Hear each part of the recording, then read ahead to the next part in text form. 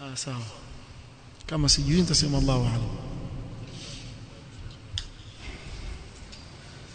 بسم الله نعم جزا الله شيخ ابا الخطاب وكمليشت رسالة هي شروط لا إله إلا الله na nawaqid الإسلام kuna baadhi ya masala insha Allah biikhtisar ambayo yamekuja hapa kwa baadhi ya ikhwa ambayo wamekuwa kutaka maelezo mafupi kuhusiana na mshikeli ambao unawatatiza anasema huyu bismillahir rahmanir rahim. Jana tumesoma kuwa haifai kusema mimi na kutegemea wewe. Neno hili limekaririwa sana kimakosa kwa watu kusema hivyo msisitizo. Tunaomba msisitizo juu ya hilo. Tunaomba msisitizo juu ya hilo. Sitize kuhusu swala la mtu kumwambia mwenzake mimi nakutegemea wewe. Naam kwa sababu kutegemea ni atawakkul na hii ni ibada. Ni ibadatun qalbiyya katika ibada za moyo kumtegemea Allah subhanahu wa ta'ala. Na ibada haifai kumpelekea yoyote asiyekuwa Allah subhanahu wa ta'ala. Kwa huwezi kusema kwa mfano mimi naswali kwa ajili ya Allah kisha kwa ajili yako wewe. Sababu hapo utakuwa umeingia kwenye nini? Kwenye shirki kama vile katika swala haifai kadhalika katika tawakkul haifai kwa mtu kumwambia mwenzake mimi nakutegemea wewe. Hii kalima wala mtu aseme mimi sikusudii kuwa namtegemea yeye kama Allah. La nasema hii lafdhi hii ni lafdhi ya kishirikina. Kwa hivyo yatakana muislamu ajiepushe nayo. Na usawa ni aseme nini? Mimi nakuwakilisha. Na kuwakilisha wewe katika jambo langu lakini namtegemea Allah subhanahu wa ta'ala. Kwa hivyo na hizi alfadh ambazo ni shirkia ili wewe muislamu kujiepusha nazo watakana daima uisome tauhid. Ukiisoma tauhid sana itakutia adabu katika upande wa nini? Wa matamshi yako unayotamka. Wa hakuna shortcut. Ikiwa daima wewe wakumbushwa wakumbushwa utakuwa wachunga katika yale unayozungumza. Lakini ikiwa uko mbali na kuisoma tauhid mara nyingi waweza kuingia katika alfadh kama hizi bila wewe kujijua na tuwe tukikumbushana. Ukimwona mtu atamka tamko kama hilo mweleze na wewe unaelezea usishindane. Haya masala wameyazungumza wanaovioni yako wazi. Wallahu almusta'an. Jazakallahu khaira shaykhana afwan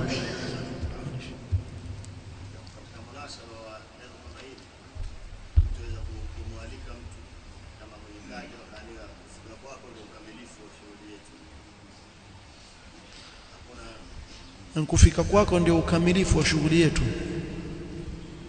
Yani sioni kama kuna mahdhuri ikiwa kusudia kuwa lile, lile jambo litatimia kwa kule watu kuwa pamoja na nini. Ama ikiwa yuona kuwa lile jambo huyu ndio anayelitimiza ikiwa kusudia sababu kwa huu ni sababu kusema. Kusema yaandikwa kuwa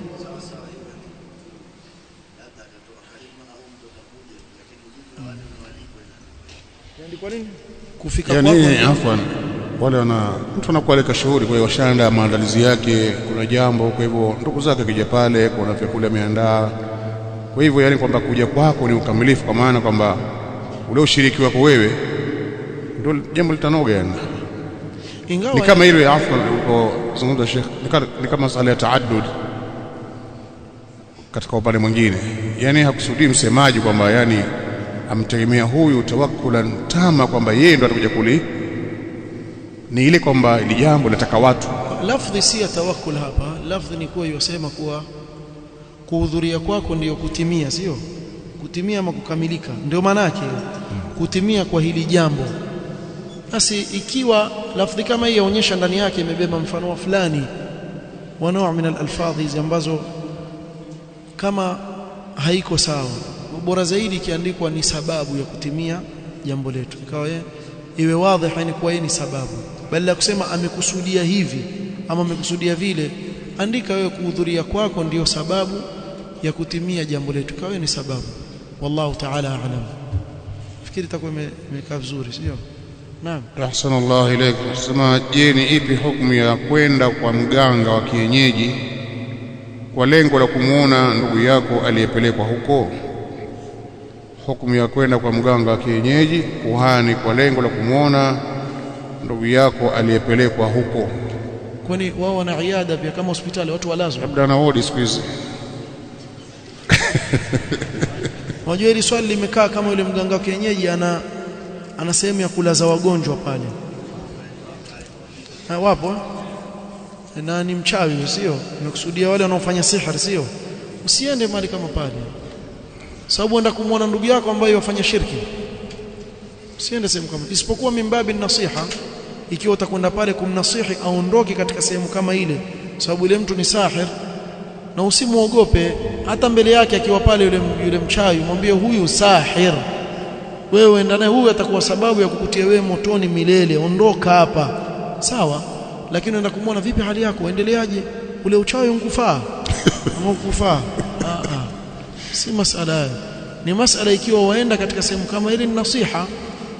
Si kwenda kumwangalia uanze pale hata usizungumze chochote katika yale wayaona ni shirki wafanye. Nenda kampe nasaha uende zako. Na. Mm, ukifika pale mlangoni uingie kinyume nyume. Ah, ah. ikiwa masala ni hivyo usiende kabisa. Wallahu a'lam. Jalla khairan. Sema kwamba kuna muulizaji anauliza hapa, kuna baadhi ya wauza dawa wanauza dawa za kufukiza. Mwathiriwa wa mas anajifunika shuka kisha anajifukiza zile dawa, ni ipi hukumu yake? Jazakallah khairan. Sheikh Al-Fauzan hafidhahu Allah Ta'ala ameulizwa kuhusu hizi dawa za kufukiza fukiza akisema hadhi min al-khurafat. Mtu aachane nazo tu. Atumie ile dawa ambayo yuanwa. Atumie ile dawa ambayo yuanwa na ina athari na sababu ya kisheria kubalika wallahu ta'ala a'lam. Wallahu a'lam. Naam. nasema nyungu Nyungu nini?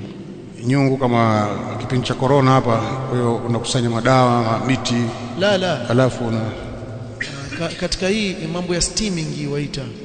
Hii ni mujarrab kuwa yafanya kazi. Hii tunaozungumzia sisi hapa ni yale maradhi ambayo yafungamana na sihir na nini ndio tuzungumzia hapa. Hatuzungumzii maradhi ambayo yajulikana. Kama mafua waweza kujifunika na viksi ile ukatia kwenye maji ya moto ukajifukiza ukavuta ni dawa ile, wajua ni dawa. Lakini sisi hatuzungumzia hapa ni wale wanaoitakidi kuwa ule moshi wafukuza jini au ule moshi waondoa majini katika nyumba. Hiyo ndio tuzungumzia hapa. Nafikiri umeona tofauti hapa. Naam. jazakallahu khair. Nasema Sheikh, Allah kuhifadhi, naomba kujua itatosheleza kumhama imamu mshirikina kwa kusikia habari tu kwa watu au lazima uone mwenyewe ushirikina wake? Katika masala ya habari yatosheleza mtu ambaye ni thika akikufikishia habari mtu wa kuaminika, si lazima uone mwenyewe. Allah subhanahu wa ta'ala sema ya alladhina amanu in ja'akum fasiqun binaba'in fatabayyanu, akiwajieni nyinyi fasiq na habari chunguzeni. Mafhumu almukhalafa ni kuwa akija mtu ambaye sio fasik yani bimaana ni thika, ni wajibu juu yako kuikubali habari yake bila nini, bila ya kuchunguza. Anayechunguzwa ni fasik peke yake. Ama ikiwa amekuja mtu mwaminifu akakwambia kuwa huyu imamu ni mshirikina na ni mtu mwaminifu, usiseme kuwa amin taswali mpaka nimuone mimi mwenyewe, sijakinai bado. Hii itakuwa ni makosa Kwa hiyo khabaru thiqa yakubaliwa na yatendewa kazi. Sawa habibi, kuna swali lingine hapo hapo? Ni hilo sio? Eneo Eh, naam, si lazima uchunguze. Ukiambiwa na mtu ambaye yuaminika, si muongo, ni fasik eh, si, si fasik afwan, ni thika, ni wajibu juu yako kuikubali habari na kuifanyia kazi. Wallahu a'lam. يقول السائل anasema muulizaji Sheikh Allah kubariki Sheikh Ibn Bazi aliulizwa kuhusu kusema masha Allah thumma fulan akasema hilo ndilo linalofaa kusema au useme laula Allah thumma fulan je haingii katika hii tawakkaltu ala Allah thumma anta Naam, kuna tofauti baina ya kusema masha Allahu thumma fulan na laula Allahu thumma fulan, kwa sababu mashia Allah subhanahu wa ta'ala ameyathibitisha kwa mja, wama tashauna illa an yasha Allah.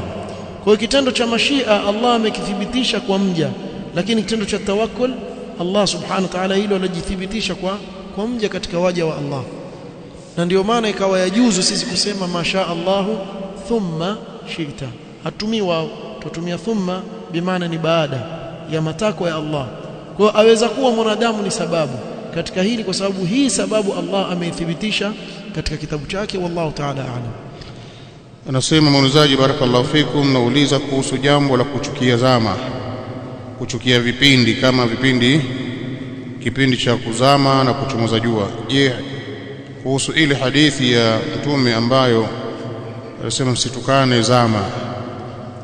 Vipi kuhusu hii? Jazakallahu khair hadithi hii yazungumzia jambo lingine na hii yazungumzia jambo lingine.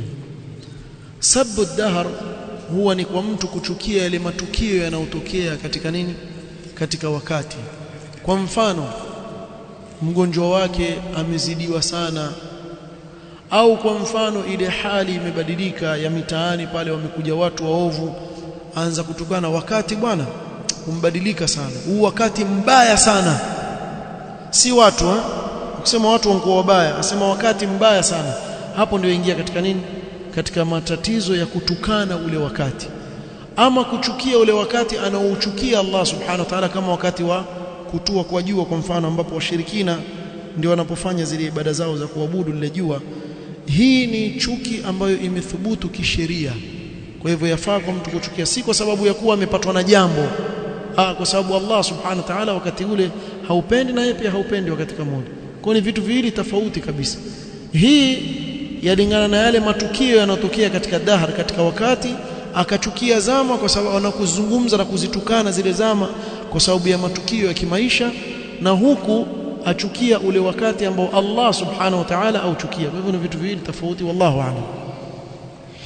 Nafikiri imeeleweka tofauti anasema mwenzaji ahsanallahu ilaikum tunakuta kejeli na matusi mengi katika comments mbalimbali mbali katika mitandao juu ya Uislamu na mtume wake na Allah na mambo ya Uislamu.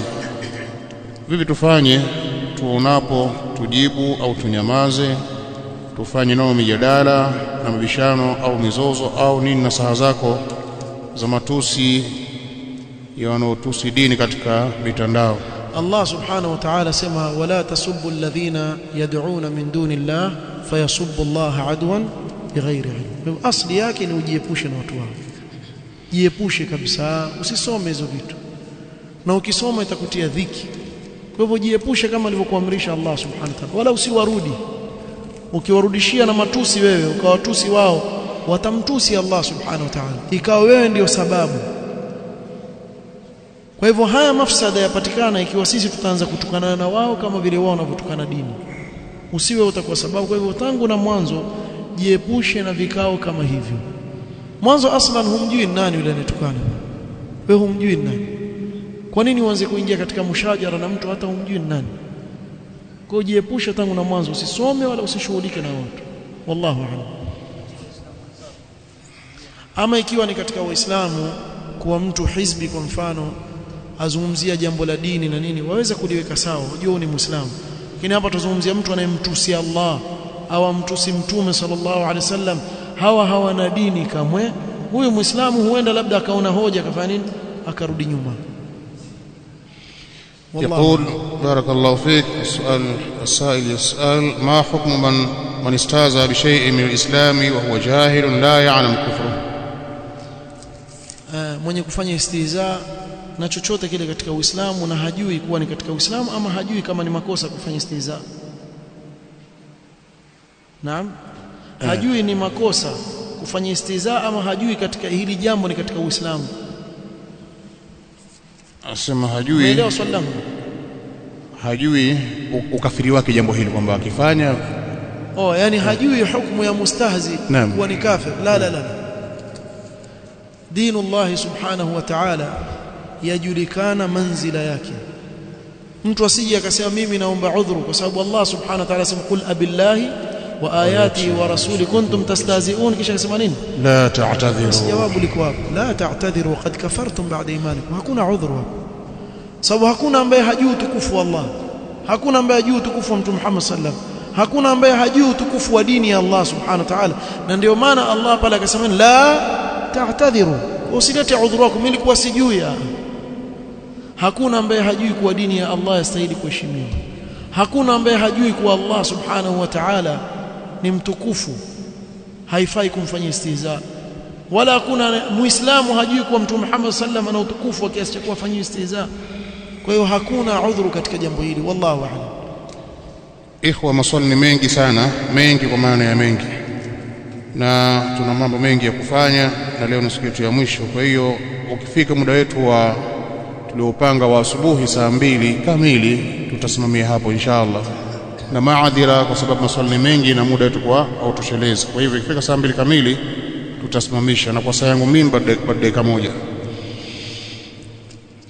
Anasema muulizaji asalamu alaikum shekhe wetu allah akulipe kheri nyingi. Swali ninaomba kujua huyu murtadi akitubu kurudi katika uislamu anatoa shahada au kuwa, au kuna tofauti baina ya vitenguzi? Tunaomba faida jazakallahu khaira. Ah, katika masala haya itategemea kile kitenguzi. Kama kwa mfano masala ya tariku sala mwenye kuiwacha sala. Kwa sababu kuna ikhtilafu baina alulama katika masala tariku sala ni kafir ama kufrun akbar ama ni kufrun asghar. Kama huyu wanawavyuoni wasema kurudi kwake katika uislamu ni kuwa arudi kufanya nini? Kuswali ama akifanya ridda jambo ambalo limemtoa katika uislamu basi arudi kama vile mtu anavyoingia katika uislamu. Arudi kama anavyorudi tusoma fatwa Sheikh Ibn Uthaymeen rahimahullah ta'ala juu ya yule mustahzi anayefanya istihza na dini ya Allah subhanahu wa ta'ala. Akasema arudi upya katika Uislamu akiitakidi kuwa ametoka katika nini? Katika ridda na kurudi katika Uislamu. Kwa atatamka shahada tena upya wallahu ta'ala a'lam swali la mwisho kwa asubuhi ya leo anasema muulizaji Sheikh jazakallahu khaira na Allah kuzidishie hirs ya kusoma na kusambaza elimu njema.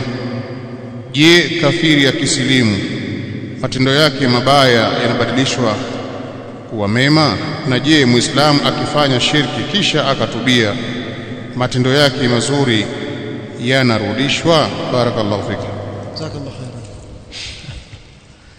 إلا من تاب وآمن وعمل صالحا فأولئك يبدل الله سيئاتهم حسنات وكان الله غفورا رحيما لكن وعمل عملا صالحا lakini nataka kusema kitu kimoja isije mtu akasikia maneno haya akasema basi wacha mimi nikufuru kisha nirudi sio mfahamu hiyo itakuwa hapo waingia pia kwenye kufanya nini istizaa na dini ya Allah subhanahu wa ta'ala kiufupi anayetubia kwa Allah subhanahu wa ta'ala tauba ya kikweli ambayo imekamilisha masharti yake basi huyu yale maovu yake Allah subhanahu wa ta'ala atayabadilisha kwa nini kuwa mema kwa hii aya illa man taba wa amana wa amila amalan salihan faulaika yubaddilu Allahu sayiatihim hasanat iwe ile tauba basi ni tauba ya kikweli na yasema haya kwa sababu wako katika watu ambao wafanya mchezo na dini ya Allah. Kuna miji kule kwetu ambao sihiri imeenea huwa watishana wao kwa wao. Wajua mimi naweza kutoka kisha nikarudi? Inamaanisha nini? Naweza kufanya sihir nikakuroga wewe nikatoka katika Uislamu kisha nitarudi. Kama yani yeye afanya kama hii dini ni duka yuwatoka kisha iweingia na ile sihiri ulomfanyia bado iko itakuwaje kwa mtu asifanye mchezo na hili jambo. Kikweli anayetubia kwa kweli kwa Allah subhanahu wa ta'ala hivi ndivyo Allah alivyomwahidi. Lakini isipelekee wewe ukaona basi wacha mimi mfanye mzaha. Mimi nitoke katika Uislamu kisha nirudi sintaandikiwa mema tu. Basi imekubaliwa toba yako ya mchezo mchezo. Kwa hivyo mtu asifanye mchezo na hili jambo. Na swali zuri lakini pamoja na haya tuchukue hii tahadhari hapa. Wallahu a'lam subhanakallahumma wa bihamdik ashhadu an la ilaha illa anta